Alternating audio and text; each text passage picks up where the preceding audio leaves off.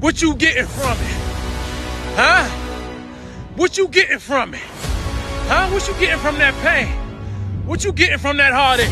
Are you being intentional about taking the lesson from the blessing? Do you even know that the storm is the blessing? You take the lesson from the blessing and you become better after your heartache.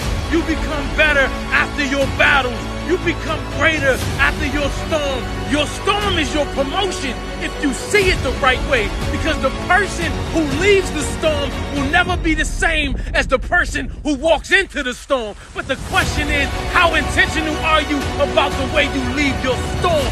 Because where there's a dog, there is a way.